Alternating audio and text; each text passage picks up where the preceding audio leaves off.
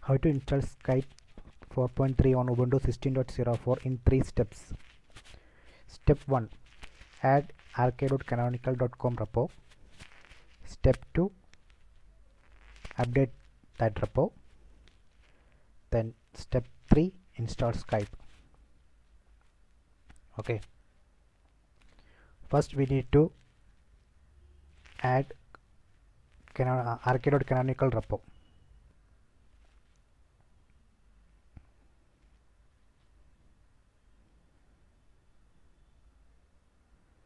Then we need to run apt-get update. This will update this will get the data from this archive.canonical repo that you can see here. You can see the uh, here you can see it's it's uh, getting data from archive.canonical.com so it's fetched data from this repo. Okay now we can go to step 3 we can install skype. Just run apt-get install skype.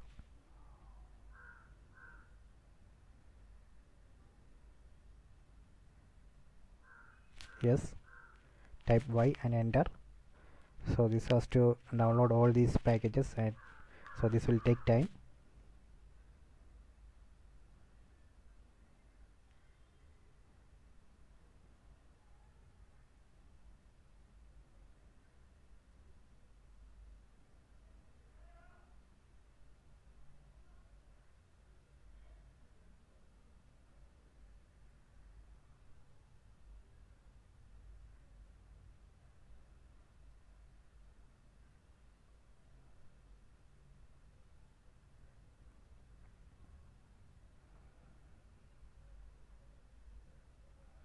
okay installation completed.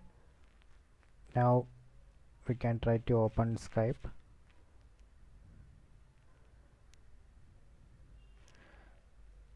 Just search for Skype then select that icon then select I agree. Here you can see the version of this particular Skype is Skype 4.3 you can see it there here you can enter your username password.